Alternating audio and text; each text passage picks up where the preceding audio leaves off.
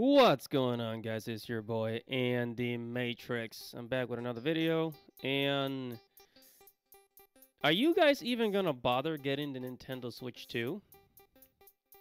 You know, uh, like, are you guys even going to get the Nintendo Switch 2? Because thus far, like, the only reason I see playing the Nintendo Switch 2 is if you're like a Pokemon fan, a Zelda, basically the original Nintendo intellectual properties like Pokemon, Zelda, Mario. If you're that type of gamer, then yeah, the Nintendo Switch 2 is it's definitely something you want to get. However, aside from that, it seems like a lot of things are really, really, really moving towards uh, PC gaming.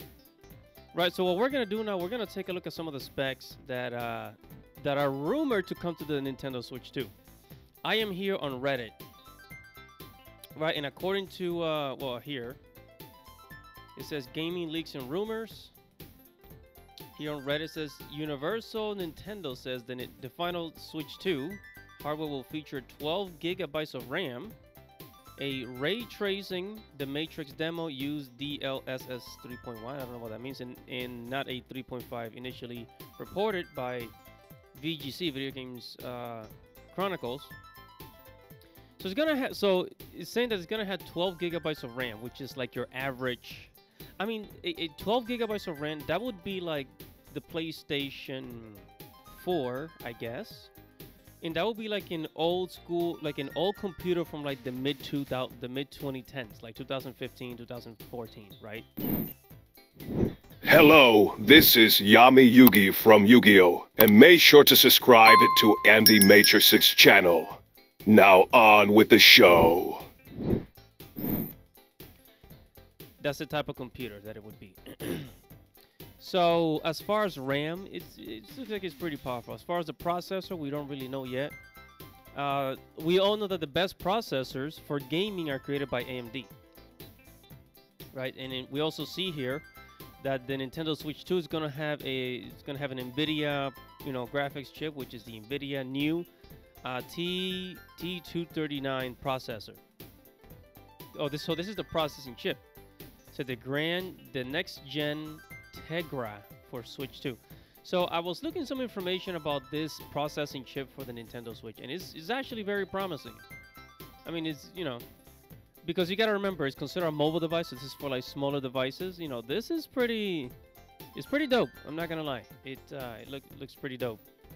And then it says, this is from forum a couple of months ago. It says the Taiwanese Economic Forum reports the Nintendo Switch 2 will have a 120 hertz screen improved battery life, but only 8 gigabytes of RAM and only 64 gigabytes of storage.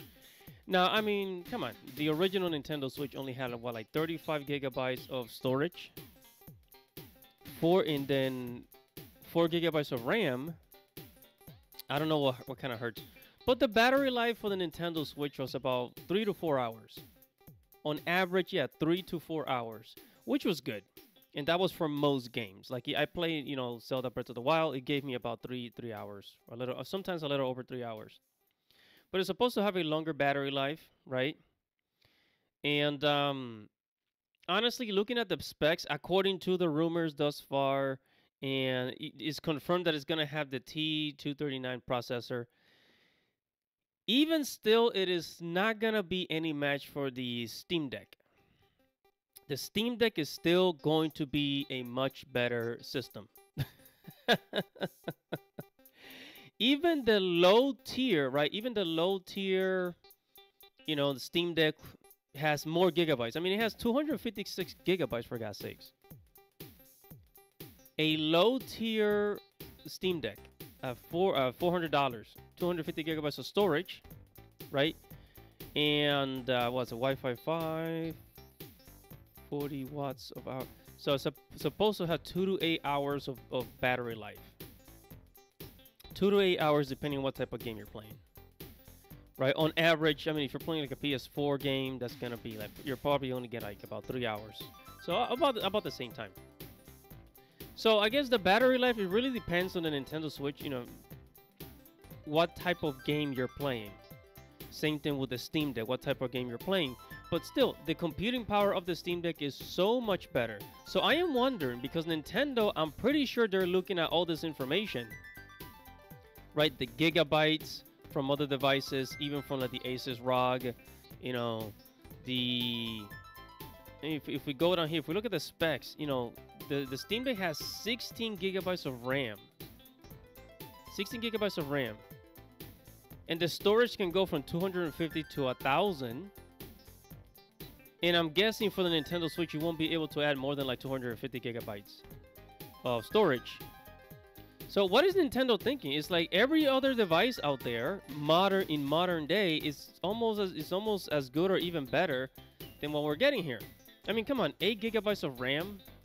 Unless they're planning on having some type of like, you know, second option, like maybe like the first option is gonna be the eight gigabyte RAM, the second option is gonna be 12 gigabytes of RAM. You know, but what are they thinking? It's like, are they not like, you know, do, they not care? I mean, yeah, it is double. It is eight gigabytes RAM is double the original of, of what the uh, Nintendo Switch 4. Excuse me, the Nintendo Switch had originally, four gigabytes of RAM. But you know, in today's world, you need at least 16 gigabytes of RAM to run the average video game on PC. So it really does make me wonder, like maybe maybe they're not planning on being a, a, a high graphics console like most like you know like most consoles because that's basically where everything's headed. Then again at the same time you got to remember that the nintendo switch nintendo has always been a fun a fun console game first. So it's never been about graphics with nintendo. But still uh, the steam deck is better i don't have a steam deck because i have a gaming laptop but the steam deck is way better and I don't see a lot of reasons to get a Nintendo Switch. The only reason why the Nintendo Switch is still relevant is because exclusivity. It has locked in, right? It has locked in exclusivity that you know you cannot play you cannot play certain Nintendo games anywhere else. Not on the not on some you know streaming platform, not on the PlayStation, Xbox, nowhere else. Unless you're pirating it. Because, for example, Super Mario, Kirby, Yoshi, Pokemon, they're only available on Nintendo. Zelda, only available on Nintendo.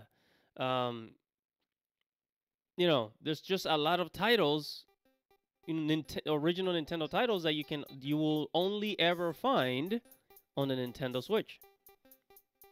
That being said, I do see some PlayStation 4 games coming over to Nintendo Switch, like Final Fantasy VII Remake. You know, that'll be a doozy. That'll be that'll be dope to see it on on the Nintendo Switch. So yeah, man. I don't know. I, I'm not really interested in getting it. I'm not much of a Pokemon person anymore. I'm not really maybe. But see, that's a problem. I, I want a device that you can buy and play a whole bunch of games in it. Because if you're only interested in playing Zelda Breath of the Wild on the, on the new Nintendo Switch, then you're think about it. You're paying four hundred dollars to play one game. four hundred and sixty dollars at that. I don't know. Um, this is why I became a PC gamer. Just more options for God's sakes. But whatever your thoughts are, make sure to comment below, like this video, subscribe to the channel, hit the notification bell for future notifications. Everybody, it's your boy Andy Matrix. Godspeed, baby.